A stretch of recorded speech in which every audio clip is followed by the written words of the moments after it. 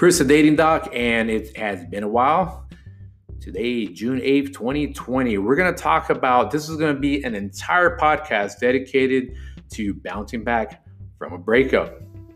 How to look at fear in the eye and make better decisions, and how hardships can be blessings. I'm also going to take a chance and talk about what's going on today in the world. Uh, namely, the you know all the rioting and looting and protesting in the wake of the death of George Floyd. Please do not be turned off by my message. Um, it is actually a message of unity and a reminder that we are human. Stay tuned.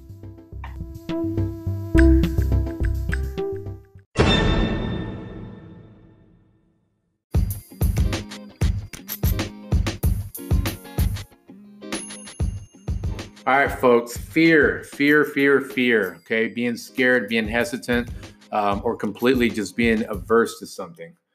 Fear is something that can cripple us and it can protect us, but we have to learn the difference. So I always love to use examples. If you're going to jump off a cliff and you've been told and you know factually there's 40 feet of water when you jump off a 10 foot cliff, that's easy. 10 foot cliff, a little bit higher than a, a pool. But guess what? You're not going to break your leg. You're not going to break an ankle. You see that there's no rocks. You've done your research. No no coral formations that are going to um, cut you up. Um, there's no. Um, it's completely open. You know, it, it is a a uh, a very um, low risk situation, but it's scary, right? So the fear is getting up top on a you know 10 foot um, ledge. That's what the, that's where the fear lies. But you know that the consequence would be very minimal. You know that um, you know you jump off this and the chances that you're going to hit anything are very very low. The only thing you're going to hit is water. But again, it's the fear that cripple cripples you. And again, the consequence is very, very low. But you get in your own head, right? And you're thinking, oh my gosh, what am I gonna do? What if what if uh what if I die? You you probably are not consciously thinking that, but you're you're, you're thinking, oh my gosh, I'm gonna jump off this cliff and I'm just gonna die. But really, the, the only risk you have is the the um, the risk of not trying, and the anxiety attack from being up there 10 feet. And that's where phobias come from. Or you can just, you know what, take the plunge, do it. You're up there 10 feet, you're tiptoeing, you're at the edge, you're looking down. You're looking down for what? You're looking down and you know for a fact nothing's gonna hurt you down there. But you, right now, your own brain is getting in the way.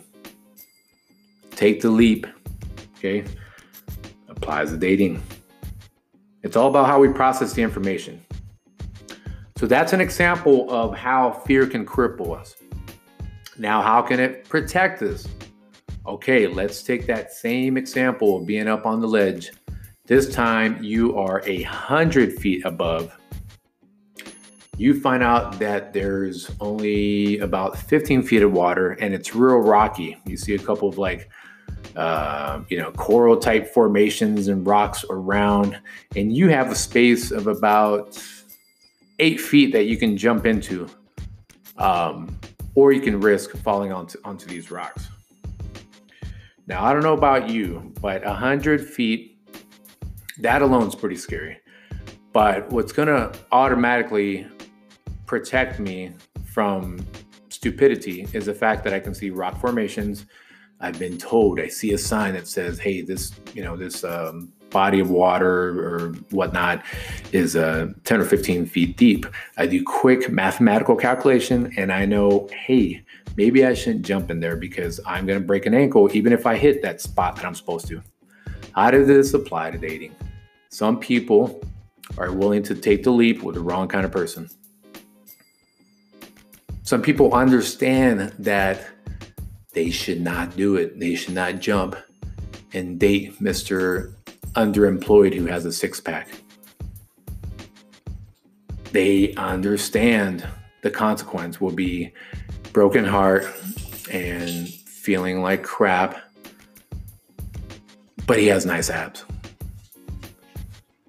And what does that mean? What does that mean for the the ones that want to take the leap? It's still a little bit scary, but it's safe. They don't want to do that. They honestly don't want to do that, even though there's a little bit of excitement from the 10 foot ledge, but you're fully protected. Some people are idiots and again, this is celebrated like, oh, the bad boy instead of the cornball or whatever. Um, sometimes the cornball can end up being the bad boy. And then Mr. Bad Boy ends up being the cornball, ends up being the loser. Okay? Some of you still take this, the, the dive when you're supposed to be protecting yourself. And mentally, you end up hitting the rocks. Mentally, you end up breaking your ankle. Get away from that thinking. Some of you women pride yourselves on being smart, independent. Don't do it. Don't do it out of spite for men. Do it because you truly are independent and smart, meaning you make good decisions. But guess what? That means you also make a decision. Don't say, well, because I keep breaking my ankle and hitting these rocks, um, I'm just not going to take the leap at all. That does not make sense. Okay. Especially if you profess how independent strong you are, how independent strong you are, how independent strong you are. It's like a meme that um, we put on our social media where if you keep talking about being independent strong, look, lions lions don't have to shout their might. They just rule the jungle. You don't have to profess it. So take the leap but take the right leap. That's all I say. Again, big point of this is that fear exists in our own world. It's all about how we process the information. So be a decision maker, make that decision to take the leap, but take the right one.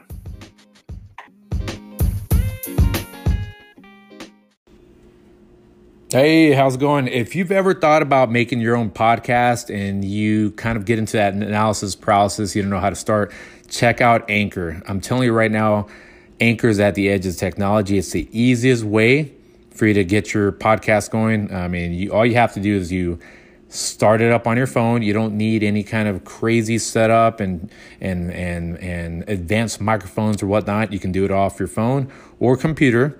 And the cool thing about Anchor is that it automatically distributes it out to the most popular podcast platforms, right? So, what I'm talking about is it can get it to you on Spotify, Apple Podcasts, and many more. And you can make money off your podcast with no minimum listenership. It's easy. And um, it's kind of an all in one. So, check out Anchor, get your ideas, get your motivation out there into the public space. Download the free Anchor app or go to anchor.fm to get started. Okay? Download the app or anchor.fm to get started.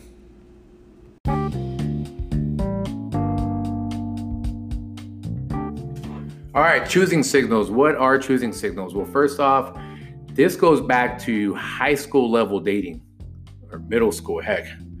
Um, shoot, we can go way back. Choosing signals is the most basic, basic thing when it comes to dating. And yet, when we get older, we either forget it, deny it, don't want to do it anymore, don't pay attention to it. And it's like, come on. Choosing signals is what you see at the start of a romantic comedy or any kind of romantic movie, whatever situation. Choosing signals is when you simply make eye contact, when you see the girl playing with her hair, when you see the little the little flirtatious smile with the eye contact. That is all choosing signals. Okay, it's when a man buys a lady a drink and says, tells the bartender, "Hey, get that one on me." Send it to the lady on the on the edge of the bar. Choosing signals. It, um, you know, when it comes to online dating, it's like saying, "Wow, you're looking pretty good, and I'm glad we matched." That's a very light choosing signal, digital choosing signal, but it's a choosing signal. All right, it's when that coworker you have a crush on, all of a sudden you say how about we uh, you join me for lunch? We don't talk about anything to do with work. Bam, that's pretty obvious. Choosing signal. Yet we become idiots. We're supposed to be grown ups. We're supposed to be smarter, be rational, um, make better decisions, which I'm, I'm going to talk about when it comes to fear. Yet we forget choosing signals. So let's review this very basic concept of choosing signals. All right, let's take you back. Let's take you back to your first crush when you were a kid. Uh, the reason normally this person be- became your first crush is because of the the rush of of adrenaline and maybe not as much dopamine, uh, though that that's part of it. But you know, elevated levels of of endorphins, cortisol, uh, the adrenaline, um, um, oxytocin maybe comes later on. And you made eye contact with this person and, and they smiled back at you, and you're like, oh my gosh, I feel so special the power of eye contact and a smile, especially when it is when it's done in a flirtatious way, which can be done even as a kid and, and, and as a dad to a seven year old. Man, it's unfortunate, right? You Got to go through that. But um, you know, yeah, it's going to happen. Middle school, high school, there's going to be that flirtatious smile and eye contact. And the innocence at that level is that it's not easily given. When we're kids, we're high schoolers we get very exclusive with that magical feeling because we don't want to we, we don't want to share that we don't want to replicate it we want it to feel special. We dilute it the second that we start giving everyone the flirtatious loving eyes and the, the you know the butterflies in the stomach. But guess what? It, that crush all started with choosing signals it all started you know almost falling in love even though you haven't even hit puberty and you're so in love because you you know your crush looked back at you uh, choosing signals. And again, I say that that the magic back then was how exclusive and magical things felt. So if you're gonna do choosing signals nowadays, um, keep in mind that you know you have to take advantage of the fact that uh, in current times, when we get back after all this pandemic, you need to not only get out and about, but you need to really give some choosing signals if you're going out with your homegirls or going out with your homeboys, do not just hang out at the bar staring at your phone next to your homeboys, homegirls, and you're not looking around making eye contact. What are you doing out there? Might as well stay home dressed up, have a little house party. If you're gonna go out, be prepared to provide, to give choosing signals, and to receive, decipher, and acknowledge choosing signals. And that's the foundation. If you work out on your body, if you have done all you have to do for yourself, and you want to get out to meet someone, but you're not giving or receiving choosing signals, what are you doing? I mean, tell me, what are you doing there? That is the foundation. You forget it, you're doomed to fail. So, again, give choosing signals and be on the lookout for them as well.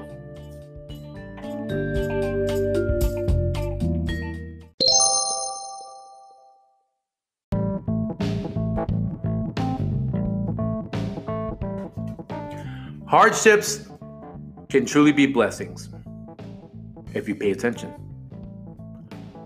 Again, I say this again, repeat myself. Hardships can be a blessing if you pay attention. Now, the thing is, we don't pay attention. We're too busy being hard because of the hardship. So, for example, let's say you got let go from a job and you're all kinds of stressed out because you can't pay the bills, because this is a new norm, loss of pride, loss of self esteem, you're back at the house, you're wondering, what are you going to do to pay the bills? Friend calls you up, tells you about an opportunity, you interview because you need to pay the bills. And all that stress has now been made up and more. That debt has been paid and a lot more because you're at a job with a boss that listens to you, with coworkers that are vibrant, that ask you out for lunch. You have the leverage to be creative and create your own job. And if you have to get out because you got to pick up the kid or kids, you're afforded that type of uh, liberty. It's a job that challenges you, it's a job that lets you express. And now, what was initially a hardship of you losing your previous job has become a blessing. Within two or three months, you have caught up with whatever money was lost due to losing the previous job, and you're off to the races. Improved mental health, which means less drinking, less emotional eating, and you're doing great. That's a good feeling, right? That can apply to dating. That can really apply to dating. Let's say you're in a relationship, you really enjoy this person, uh, great person, all of a sudden they tell you that they have to leave because of work. Or they stop talking to you, you know, just out of the blue. Great person. You're wondering what just happened. You feel crushed. You feel unworthy. You feel like, well, this is kind of one of the better situations I've had recently, and it didn't work out. So now, what do I do? Where do I go from here? This is where most people fail to learn the lesson or the blessing in this case. they start overeating or they hang out with friends and they're just wanting to hear and justify that it was the other person's fault. And uh, they decide to get lazy on the work. See, that's the difference, right? When I use this previous comparison about getting a new job, you still had to apply for that job. You still had to reach out to your friend, to your contact. You still had to show up. Still had to show up. Still had to prove yourself at work for you to enjoy the job. If you don't perform at your job, doesn't matter how cool the boss is, if they're a responsible boss or supervisor, they're going to get rid of you. You still have to show up. Same thing with dating. This is where we miss the lesson. We're too busy stuck on the hardship that we don't move past that to look at what the blessings are. And the blessing might be as simple as you're standing in line at a grocery uh, at a grocery store, you're in line checking out and you are literally getting checked out. But you're too busy in your cloud of the hardship of the recent past where that guy or gal checking you out could have been a nice conversation. Doesn't mean it has to be the next person you date, but that conversation could have catapulted you into more blessings. You still have to show up, you still have to do the job, if that makes sense, in, in the dating world. What's been popularized, popul- popularized, man, what's going on here, is poking fun or making memes about the hardship instead of the blessings that are still out there. You yourself could be the blessing for someone else, for someone else's hardship. So keep that in mind is that hardships can actually be blessings. There's no reason. So, what are you going to do now? Are you going to be stuck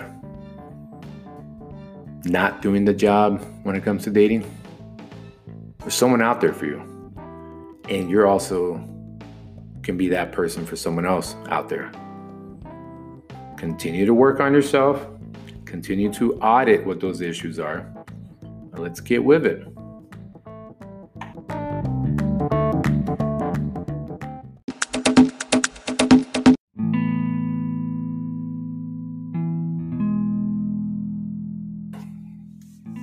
At the time of recording, it is June 8th, 2020.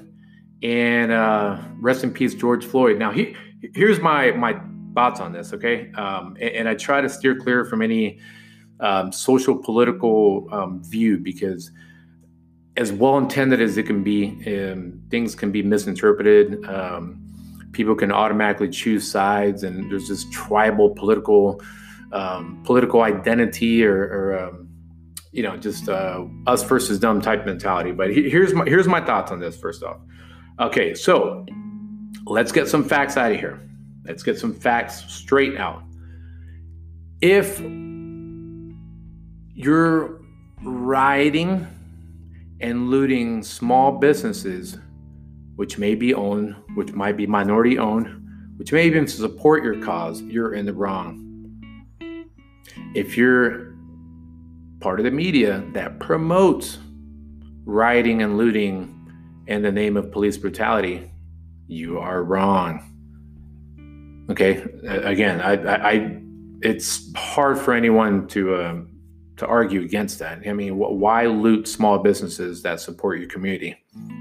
If you look at the process of what helps local economy, you're, you're destroying it. You're destroying the underdog. It makes no sense. I'm not even advocating for corporate destruction or looting, because again, some of those same folks that you may might be your friends are employees at those big places like a Target, a Walmart, or whatever you know you choose corporate corporate West. Um, the other thing is that you know this is not an isolated incident. You know, it's not like all of a sudden because of what happened to George Floyd. Um, you know, th- this was a boiling point. This was the straw that broke the camel's back. I do believe in George Floyd being a symbol of a again a healthy movement where people are angry. People are angry, uh, which goes back to my previous point about why they're looting and rioting. But you don't destroy your own businesses. Um, you know, if if, if focus your energy on what matters, not destroying your own um, community. It just it, it's it's um, it lessens the cause. And there's even debate that there's healthy protesting and then there's rioters and looters that are part of a whole nother group. Again, that's a whole nother subject. Um, but yes, I you know I believe in George Floyd as a movement, but you know um, it wasn't like hey as a person he, he was the reason that that all this started. No, it's it's because of the continued uh, police brutality. It's the fact that these are folks that are supposed to protect and serve. Um, you know, kids look up and want to be a, a, a policeman, you know, a policewoman and now these are the images that they're growing up with doesn't matter your color your creed or whatever um, i don't believe in in in those that are supposed to protect and serve our community um, kneeling on someone's neck that's already handcuffed to me that stems from masculine insecurity ego um, and possibly yes deep-seated racism now I both I believe in both Black Lives and All Lives Matter. The reason that I say this is because when I do hear All Lives Matter, it does discredit a little bit of the Black Lives Matter movement. But at the same time, Black Lives Matter sometimes, not all the time, sometimes would not be inclusive and say, unless you're black, we don't want you to understand our movement. You're not going to understand our movement. I disagree. You need to have allies. If you're going to want someone else to believe in your cause, you have to have the ones that initially do not believe in your cause, do not support your cause, to be converted, to understand, to agree, to come to a peace with what you are saying with your movement. If only, if all you have are those that automatically are going to support your movement, then it's really not a movement. You have to make sure that those that have you know caused grievances those that need to understand your side a lot more those are need, the ones you need on on your side so if you don't you can profess from assertiveness and aggressiveness yes but you do need to be inclusive so people understand where you're coming from point blank there's no way that you're going to garner people to believe in your cause if you say, "Hey, unless you're black, we don't want to hear from you." That's that's not you know, that's not healthy. But I also do believe that yes, all lives matter without discrediting what Black Lives Matter movement is about. All lives matter in the fact that all those that were not recorded, that were not filmed, that were not brought to light on social media, they all matter because at the end of it, you want results, you want improvement. You don't want to just argue and fight for no reason. You want improvements, just like relationship. So, what's that compromise? Police reform holding people accountable, especially police departments. And the most important thing, which stems from greed, is the way that police are unionized.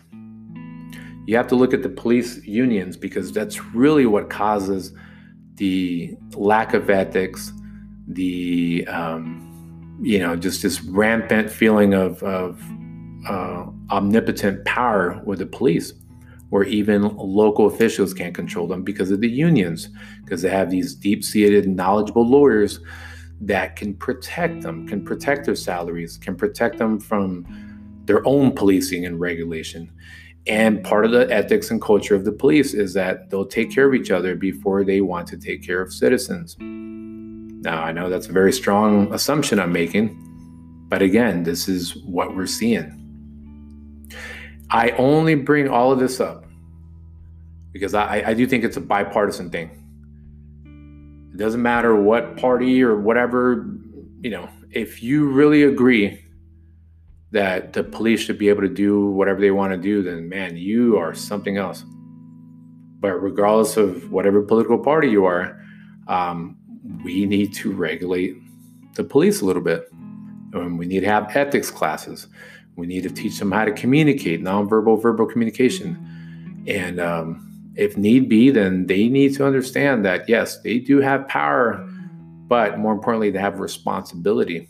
And for those that are protesting, again, I understand Black Lives do matter, but you also have to ensure that the side that you want to listen to you can hear you. Hate against hate equals nothing. No progress comes from hate and hate. Okay, history proves that. So again, I hope you don't mind that. Um, I, I, I, did feel that I needed to touch on the subject because it's one of those things that are, um, you know, tearing the country apart. And um, I do take pride in being part of this country. But at the same time, we need to understand that uh, progress needs to be made from this. Okay. Don't confuse it with, oh my gosh, he's a progressive. Progress needs to be made, period. Okay. We are in a very backwards type of thinking where we hate each other based on the color of our skin. Um, Animals should laugh at us if they had reasoning. They should. We're supposed to be the most advanced mammal on earth, and yet we act silly.